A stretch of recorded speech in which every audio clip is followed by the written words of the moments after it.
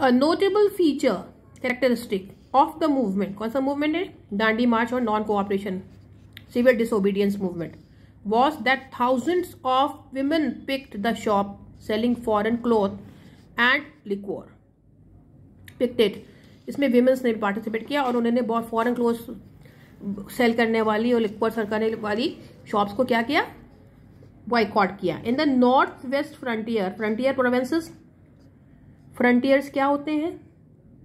Border area the north west border area provinces Abdul province में Abdul Gaffar Khan popularly known as frontier Gandhi जो जो borders पे यही कर रहे थे इंडिया की फ्रीडम के लिए स्ट्रगल कर रहे थे, उनको वहाँ पे फ्रंटियर गांधी के नाम से पॉपुलरली जाना जाता था ऑर्गेनाइज सोसाइटी उन्होंने एक सोसाइटी बनाई ऑफ़ खुदाई खुदाई खिदमतगार, यानी सर्वेंट ऑफ़ गॉड्स खिदमत करना सर्व करना सर्विसेज़ प्रोवाइड करना, खुदा इज़ गॉड और servant of god they were also called red shirts called the red shirts उनको रेड शर्ट्स के नाम से भी उस ग्रुप को जाना जाता था इस इस इस सोसाइटी के लोगों को. They pledged themselves to non violence India's freedom struggle उन्हीं ने भी ये प्लेज किया था कि नॉन वायलेंस के साथ इंडिया की फ्रीडम की स्ट्रगल करेंगे.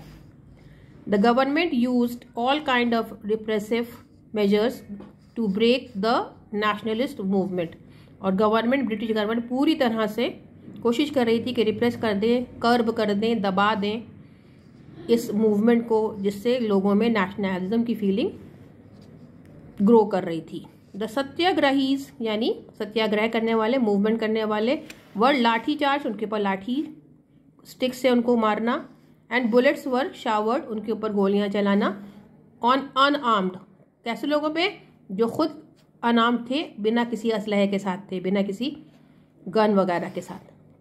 Crowds of man and women और जगह जाते थे और ऐसे उनको गोलियाँ से भून देते थे.